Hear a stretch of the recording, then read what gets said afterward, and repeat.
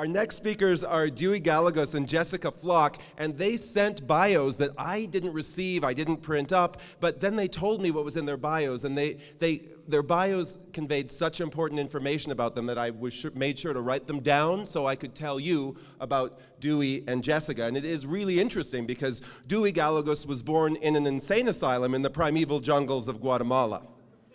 That's what he told me to say. he was actually raised in Laramie, but he spent so much time outdoors by the river that his mother did contemplate the possibility that he was actually feral. Dewey is happy to have found someone who enjoys the outdoors as much as he. That would be Jessica Flock, and it turns out Jessica actually is feral. That's also what Dewey told me to say. Jessica Flock, in June 1978, her parents went on a trip to the Selway River inspiring a lifetime of outdoor adventure for them, which became a lifetime of outdoor adventure for her. She's grateful, too, to have found someone who loves the outdoors as much as she does. That would be Dewey. They've been married for 14 years. They own Laramie's Pedal House. It's great. I wouldn't take my vintage Peugeot anywhere else. Their talk today is pedals and paddles. Dewey and Jessica. Bing. Um, this is the story of narcissism and the narcissism of two people who found love with the outdoors. And I'm Dewey, I'm the guy on the right of that picture, and I love bicycles. I love bicycles so much that my first love and my first memory were actually of bicycles. That bicycle right there in the background. I'm the little guy in the middle. And um, I loved I loved bicycles so much that literally my first love wasn't a person, wasn't my mother, wasn't anything like that. It was a bicycle, that bicycle. And I remember walking into a showroom here in Laramie, Wyoming, and that bicycle glistened just like it is in that, that picture right there. It, it was sparkly. And every time I buy a bike, I'm reminded of that moment and that sparkle right there. I still have it in my heart. That's me, the flock star in the upper right and lower left hand corners. I was eight when my parents, Dean and Phyllis, took the whole family rafting for the first time. The Gates of Lodore, the snake, the North Platte, Royal Gorge, all became part of my lexicon. At 17, my parents let me take their four door Ford dually truck and go for a month on the Green, the Yampa, the Middle Fork of the Salmon, and the Selway. It was an incredible run, and I'm very grateful to my great parents. So we got together and we got married in a place called Happy Jack, and it's the most beautiful place in the world. And we rode down a trail called Lovers, and it's called Lovers because these two gigantic water towers have nasty, disgusting poems and pictures written all over them, and it suited us just fine. we also, I, I, bought two bicycles for us when we got married road bikes because I thought that would be a nice, easy introduction a Fuji Roubaix, which is nothing special, and a beautiful Italian Atala for Jessica.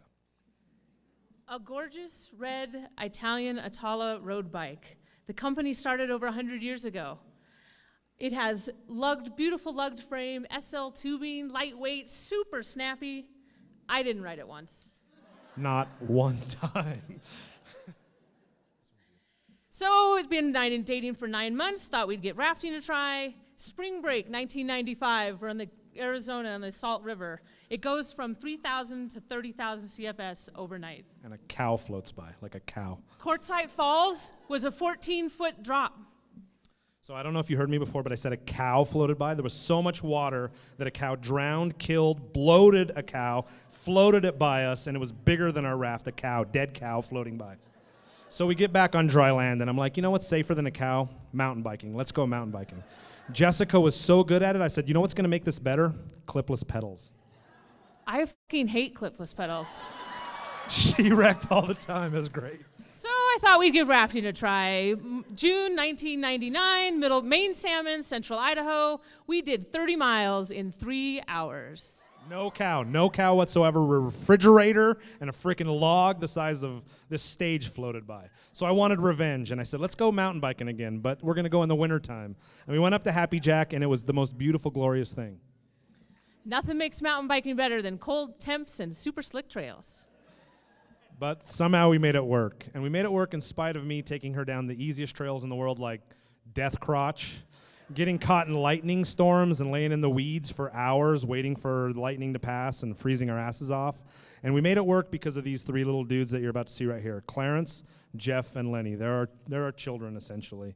And we made it work because they love to be outdoors, whether it's on a raft or on a bicycle.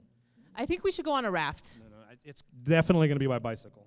We really need to go on a raft. So yeah, the bicycle. We'll talk about it later. So, um, right, I found this thing that I really, really like about rafting. It's called flat water, and it's amazing.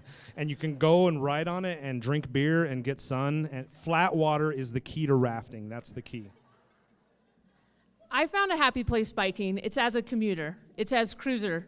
It's going around town with my friends and family, seeing the sights of Laradice. It's my happy place. She should still be using clipless pedals. That's just. Um, I, seriously, clipless pedals are the key. Um, We still go on adventures on our own. This is June 2005, Hermit Rapid, Grand Canyon, 18,000 CFS, hole number 10, right before I flip over. I was so happy to not be on that trip. you have no idea. And I still go mountain biking, uh, although I don't go by myself very often. I have the greatest riding partner in the world. His name's Jeff. He's the little dude running right there. And what I love most about Jeff is not one time has he ever complained about clipless pedals. Not once. I'm never going clipless. Happy Jack, December 9th, 2012. It was our second time out that day. Pretty sure we were the only ones there. One place I know we're going to go together is outside. Thank you. Thank you.